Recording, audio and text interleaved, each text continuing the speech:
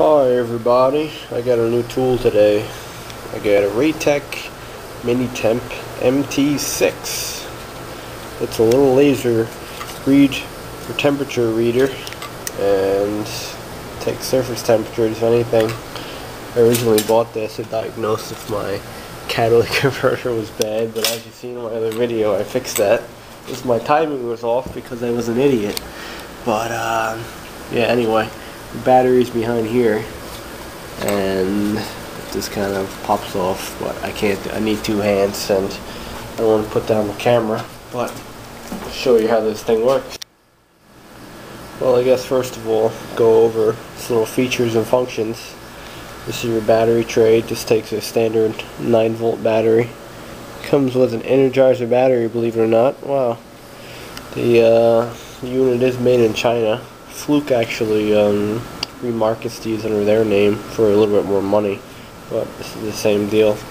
This is your uh, Celsius and Fahrenheit switch right here, depending on what's your um, standard measurement. Here in the United States, it's Fahrenheit, so keep that as is. Close the door, point and shoot. Point and shoot. 100 and one on the bricks. Alright. I've just been playing around with this all day, shooting temperatures. It's very hot here. But it works quite well. It has your uh, max temperature and your minimum temperature that uh, will be saved every time you use it. So that's pretty neat. Let's go over here and do some more shooting. 96.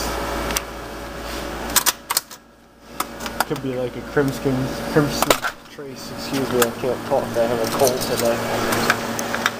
Over here, it's gonna be way hotter. 106, 107. I read um, I read 147 in the back of my truck in the bed liner. It's pretty insane. Say, look at the sky today. Not a cloud again in tropical Florida.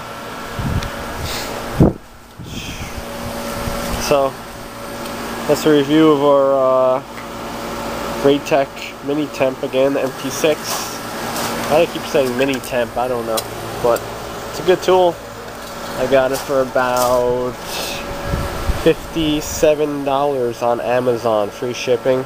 eBay has them for about 54 bucks. I just went with Amazon because uh, they got a kind of a better return policy in case it were to break eBay, you know, it's just up in the air.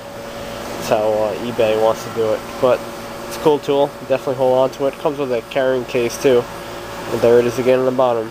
Made in China.